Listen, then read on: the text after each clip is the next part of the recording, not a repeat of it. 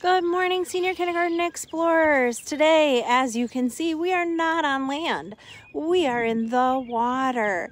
And we're going to explore the pond today. And we're going to do that from a boat.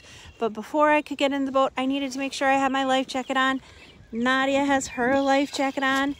And we are in a kayak. And our kayak does not have a motor we have to do the work. And that's why Nadia joined me in my boat today because I am not able to paddle and videotape at the same time. So she is going to do a little bit of the work for me. She's going to do a little bit of the recording as we are exploring. So right now, we're kind of along the shoreline of the pond. We're close to the land part. We're not in the middle of the pond exploring. We were going to explore and see what we could see along the land. And remember we were looking for nests in the trees before? Now there's nests in the weeds and those weeds are called cattails. And they have nests that maybe the ducks might live in or there's a bird that lives along the edge of the pond and it's called a black wing or red wing blackbird, excuse me. And if you can see that little spot right there, that's a red wing blackbird. And they uh, talk a lot. They like to chatter.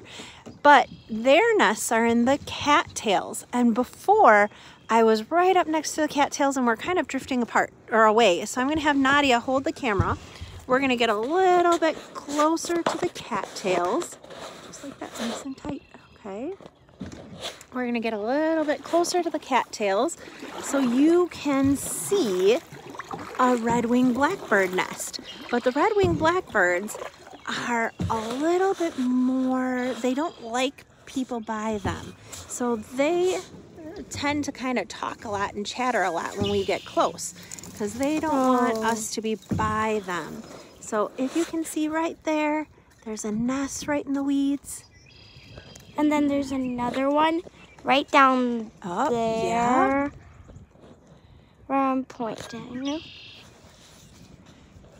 So and that black red-winged blackbird doesn't want to go too far from the nest. It wants to protect its nest. However, we would not go by the nest if we saw that there was something in it. And when we paddled past from a distance before, we could see that right there now there's nothing in the nest. There's no eggs or anything. So I, I'm not going to disturb the mom or have her worry that we're going to harm her babies in any way. And right now you can see we're moving and we're not even paddling. There's such a breeze right now. We just keep cruising along.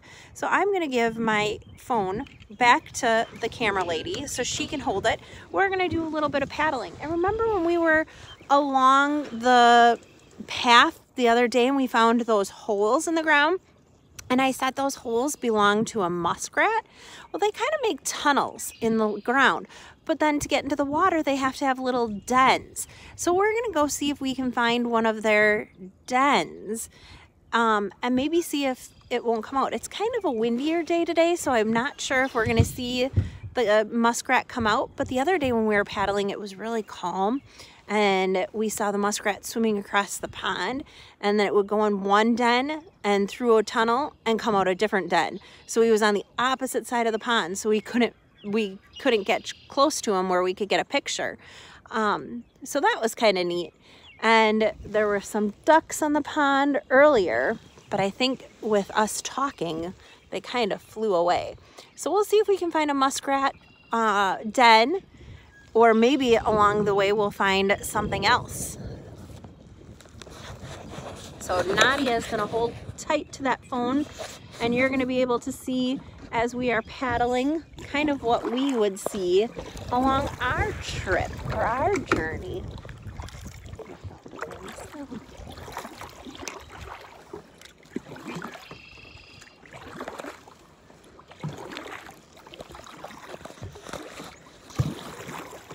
And our pond is a natural pond. Um, it's not, we don't treat it right now, so there's a lot of weeds, um, and it's a sand bottom pond. So it's not very deep. At the deepest point, it's maybe, maybe about 12 feet deep.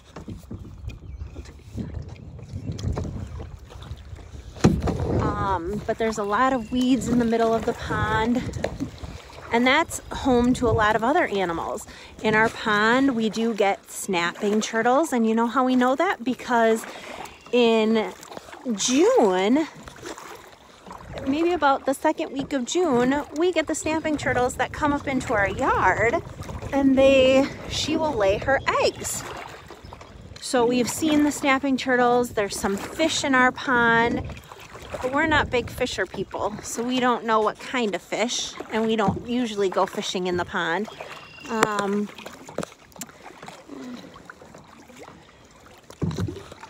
I see some more red-winged blackbirds along the edge. They like to live in those cattails and they like to live right along the edge.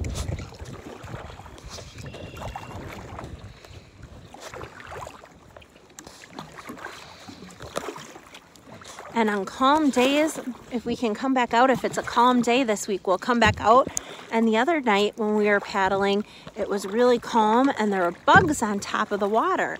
And we could see the little sparrows coming and flying past and eating the bugs right off the top of the water.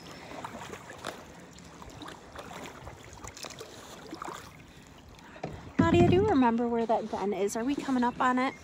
Um, there was one over by where we um, got in. That one's a little bit harder to see though because it's covered by the trees.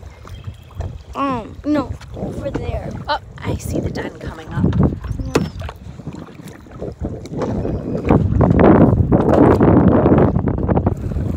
Oh, and I'm all wet. There's one den coming up right here. And it just looks like a hole in the ground. Um, so don't want to get too, too close to bother it. So we want to stay a little bit away. But that's one of the dens and you can see how the water goes in and then they can tunnel under the ground. Um, I don't think that one's a den. That one's just a little bit of erosion happening in the side of the pond. The water, when we get little waves like this, will erode away at the land. And that is called erosion. It kind of breaks it apart and wears it down. And then Nadia said there's another one over here in the trees, but this no, it's not over in the trees. It's over by my kayak. But remember the one was over by the trees over here? Mm -hmm. Because that was where he went in that one day? Mm-hmm. And then he probably came out came came out by my kayak. Oh, there's another one right there, I think. Or no. And now we're going into the wind and it was not so breezy before, but it's got breezier.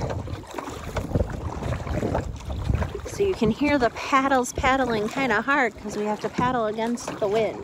Oh, I think that one hole was kind of right over in that brushy area. And when we were walking on the path, remember those holes? Mm -hmm. Those holes kind of dug right next to that area over there.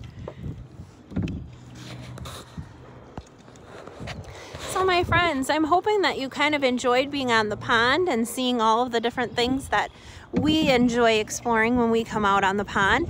And if the wind dies down, maybe we'll take another adventure on the pond or maybe even a different day when it's a little bit more calm or a different time of day in hopes that maybe we can see some different types of animals and different type of wildlife as we are exploring on the pond.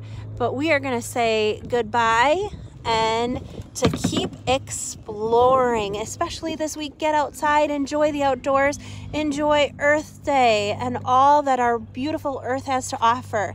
See you later, explorers.